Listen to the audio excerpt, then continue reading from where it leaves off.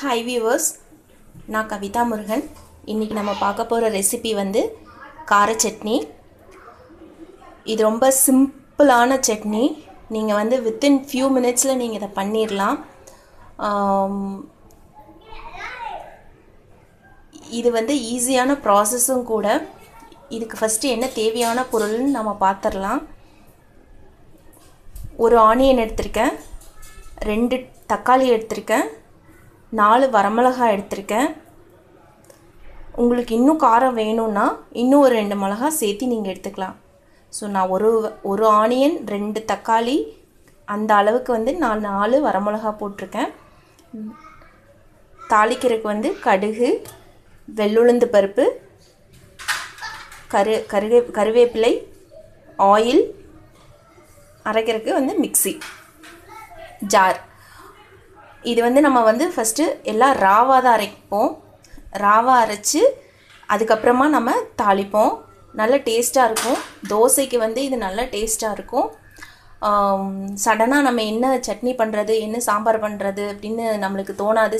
வெளியே போயிட்டு வந்துட்டு ஏதாவது அவுட்டிங் ஏதாவது போயிட்டு வந்துட்டு என்ன பண்ணுறது அப்படின்னு நம்மளுக்கு தோணாது. ஸோ அந்த டைமில் உங்களுக்கு வந்து ஈஸியாக நீங்கள் வந்து பண்ணிடலாம். தோசைக்கல் அடுப்பில் வச்சுட்டு நீங்கள் வித்தின் ஃபியூ மினிட்ஸில் நீங்கள் இந்த சட்னி பண்ணிடலாம் ஸோ இட் இது வந்து ரொம்ப ஈஸியான ப்ராசஸ் கூட எப்படின்னு ஃபஸ்ட்டு நம்ம பார்க்கலாம். இப்போ நான் ஆனியனை வந்து ஜாரில் போடுறேன். இது வந்துட்டு கோயம்புத்தூர் சைடில் வந்து அதிகமாக இதை வந்து செய்வாங்க.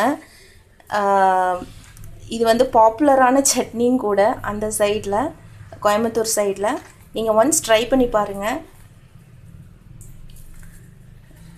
தக்காளி போட்டுட்டேன் வெங்காயம் போட்டுட்டேன். இப்போ வந்து நாலு வரமிளகா போட்டுட்டேன். இப்போது சா இப்போ வந்து சால்ட்டு நான் போட போகிறேன்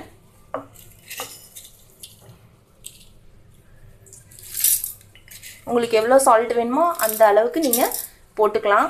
சப்போஸ் பத்தலினாலும் நீங்கள் அரைச்சிட்டும் கூட டேஸ்ட் பண்ணிட்டும் கூட நீங்கள் மறுபடியும் போட்டு கிரைண்ட் பண்ணிக்கலாம்.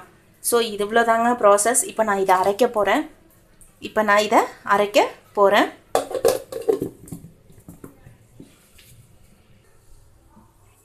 இப்போ பார்த்தீங்கன்னா நான் அரைச்சிருக்கேன். பாருங்கள் எப்படி இருக்குன்ட்டு. ரெட் கலரில் இருக்க பாருங்கள் நீங்கள் இதை வந்து நல்லா அரைக்கணும். நீங்கள் வந்துட்டு ஒரு அரையும் குறையுமா அரைச்சிங்கன்னா அது வந்து உங்களுக்கு நல்லா இருக்காது. இந்த மாதிரி நல்லா அடிச்சிட்டிங்கன்னா உங்களுக்கு அந்த தக்காளி ஸ்மெல்லும் கூட இருக்காது. அந்த அளவு வந்து போயிடும் ஸோ இந்த மாதிரி நீங்கள் நல்லா கிரைண்ட் பண்ணிக்கோங்க. இப்போ இந்த டைமில் நீங்கள் டேஸ்ட்டு பார்த்துக்கலாம். உப்பு கரெக்டாக இருக்கா அப்படின்னு கூட நீங்கள் டேஸ்ட்டு பார்த்துக்கலாம்.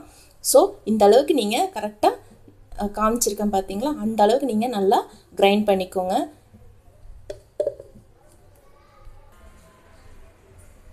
இப்போ நம்ம அரைச்சி வச்சுருக்குறோம். நீங்கள் இதில் தண்ணி ஊற்றாமல் அரைங்க. ஆல்ரெடி தக்காளியில் தண்ணி இருக்குது ஸோ அதனால் நீங்கள் தண்ணி ஊற்றாமல் கெட்டியாக அரைச்சிக்கோங்க. இப்போ நம்ம தாளிக்கிறோம். ஸோ தாளிக்கிறதுக்கு நம்ம ஆயில் எடுத்துக்கிறோம். ஸோ தேவையான அளவுக்கு நீங்கள் ஆயில் உங்களுக்கு ந நிறைய வேணுனாலும் நீங்கள் நிறைய எடுத்துக்கலாம். ஸோ நிறைய ஊற்றுனீங்கன்னா நான் நல்லெண்ணெய் தான் ஊற்றுறேன் நல்லெண்ணெய் ஊற்றிருக்கேன் நான். அது ஒன்றும் அவ்வளோ கெடுதலெல்லாம் இல்லை. நல்லது தான் நிறையா ஊற்றி தாளித்து அதில் ஊற்றும்போது உங்களுக்கு அந்த காரத்தை வந்து அப்படியே அடக்கிடும் நீங்கள் ஒன்ஸ் நீங்கள் ட்ரை பண்ணி பாருங்கள் அப்போ உங்களுக்கு தெரியும். நீங்கள் நல்லா தாளித்து அந்த சட்னியில் ஊற்றி நல்லா கலக்கும்போது உங்களுக்கு அந்த காரத்தை வந்து அப்படியே கம்மி பண்ணிடும் இப்போ நம்ம தாளிக்கலாம். என்ன ஹீட் ஆயிடுச்சான்னு பார்க்கலாம். ஸோ ஹீட் ஆயிடுச்சு. இப்போ நம்ம கடுகு போடலாம். கடுகு போட்டிருக்கேன். ஸோ நல்லா வெடிச்சு வரட்டும்.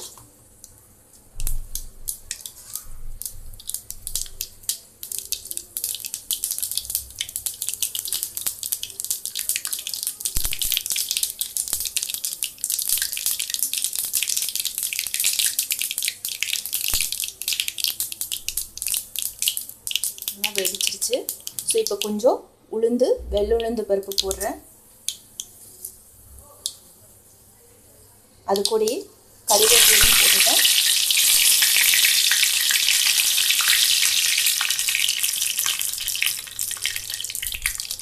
நல்லா இதாகட்டும். ஸோ நான் ஸ்டவ் ஆஃப் பண்ணிடுறேன். ஆஃப் பண்ணி நான் இதை எடுத்து கொட்டிடுறேன்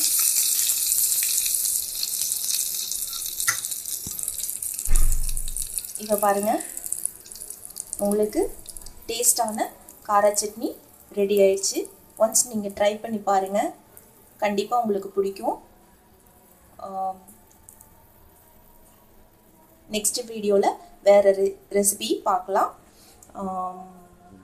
மறக்காமல் சப்ஸ்கிரைப் பண்ணுங்கள் தேங்க்யூ ஸோ மச்